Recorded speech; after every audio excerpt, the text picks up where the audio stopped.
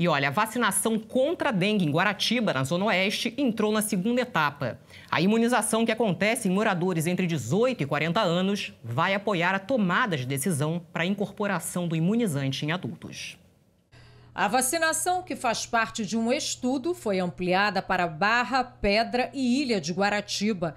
Independentemente do mês de nascimento, foram vacinados no sábado moradores que têm entre 18 e 40 anos e estão cadastrados nos centros municipais da região.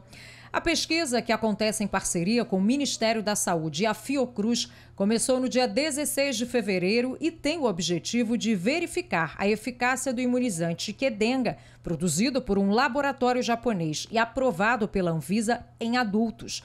Cerca de 20 mil voluntários se inscreveram para participar do estudo Guaratiba Vacinada contra a Dengue. Os resultados vão apoiar a tomada de decisão para a incorporação da vacina em outras faixas etárias. Nesta segunda-feira, a Secretaria Municipal de Saúde estendeu a campanha aos postos Mourão Filho, Raul Barroso e Maia Bittencourt, todos em Guaratiba. Para receber a vacina, o morador da região precisa ter entre 18 e 40 anos e fazer um pré-cadastro. Quem preferir pode ir diretamente na unidade de referência. Segundo a Prefeitura, em breve, outros centros de saúde serão contemplados. A participação é voluntária. E a gente aproveita para reforçar um convite. Na próxima quarta-feira acontece no Salão Nobre do Palácio Pedro Ernesto uma palestra sobre o combate ao mosquito transmissor da dengue.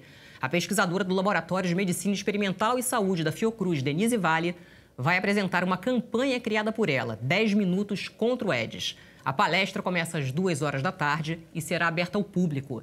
É o Legislativo Carioca de olho na saúde da população.